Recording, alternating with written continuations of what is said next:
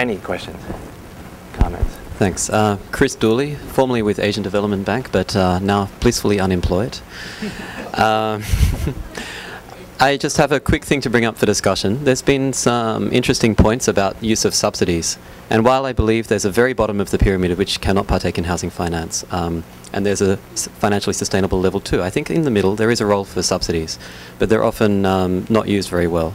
Now, let's put aside any prejudices, but I think uh, on average commercial players are better fit to provide services to people than non-commercial players.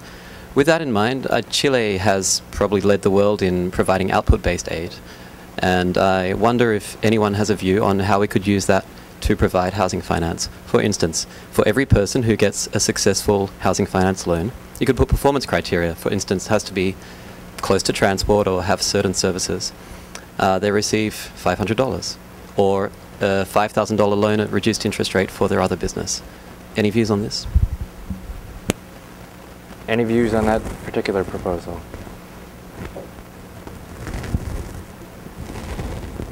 Could you could you restate it in uh, in, in ten words or less?